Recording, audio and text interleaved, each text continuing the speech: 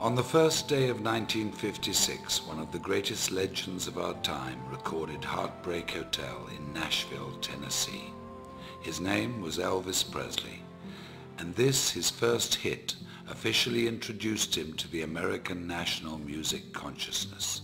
The song was inspired by a young man who died an untimely death and evoked the last words, I walk a lonely street. It was a song that would serve as the definition of a generation of music unlike anything the world has ever seen since. On that day, something else had taken place, perhaps not so momentous at the time, but that would prove to also define a generation, not of music, but of changing people's lives, and who would also die an untimely death as fate would have it.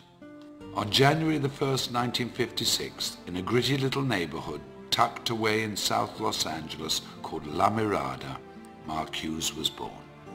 His life was fairly unremarkable.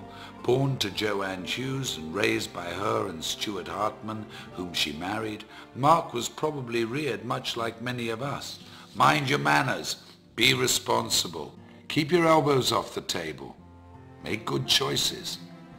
He was skinny and good-looking, polite and friendly, and very protective of his two younger brothers. The quietest of the three boys, he'd inherited his mother's good looks and Stuart's focus and intensity. Like many families of the day, Joanne and Stuart moved the family to Camarillo to try to provide a better life for them, to build a future and keep the family safe. And like many other families of the day, their not so picture perfect marriage fell apart and resulted in a divorce that would change the family forever. Mark's childhood was like many in the growing suburban community, school, day trips to the Channel Islands, bicycle rides and fishing outings. That all came to an end after the divorce, and Joanne began to chase her youth, trying fad diet after fad diet. It was a scary time for Mark, and when Joanne became sick in 1969, when Mark was just 13 years of age, the family returned to La Mirada. They lived with her parents, Mark's grandparents, Lawrence and Hazel Hughes, who took the family in and took care of them as only family could. But despite their best efforts, and with Mark's never-ending grief, Joanne died of complications from the deadly combination and steady use of weight loss and sleep aids. Mark was only 19 years of age. It was then he decided he would make a difference in the world, with his mother as his beacon and the goal of preventing what had happened to her happen to anybody else. While fundraising for a California youth group, Mark had found his calling. He was charismatic, charming and persuasive. He'd even convinced then Governor Ronald Reagan to part with $500. And with the taste of success in his mouth, the goal of changing lives through better health as his objective, the idea of personal financial freedom, and the memory of his mother in his heart, Mark Hughes entered the world of direct selling and network marketing. In 1976, Mark began selling Slender Now diet products, quickly becoming one of their top 100 earners. When the company collapsed in 1979, he sold exercise equipment and weight control products for Golden Youth, another direct sales organization. And when Golden Youth also failed, Mark decided to start his own company.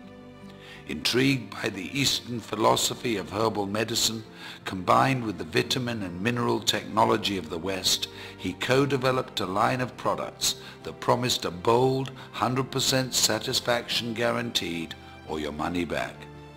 At 24 years of age, Mark Reynolds Hughes, having taken his mother's maiden name, introduced Herbalife in the United States and single-handedly rewrote direct selling history.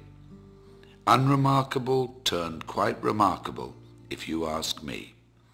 I often wonder what he would think if he could see us today, sitting here in this arena, looking at how big our organizations have grown, reflecting on the company's incredible retention rate, tasting our new products, walking into a nutrition club, celebrating success at a new president's team experience, how proud he would be.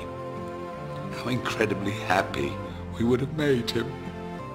I know in my heart, as many of you do in yours, that his light is what has made this possible, that his vision is what fuels us, that we are forever changed because of his influence on us and his belief that despite what we may think of ourselves every now and again, we're truly remarkable human beings.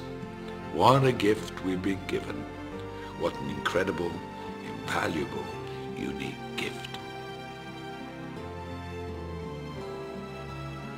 I had this incredible dream when I wanted to start the Herbalife company that we could help people lose weight and we could help them do it safely and they would, they would have not just hope, that they would have reality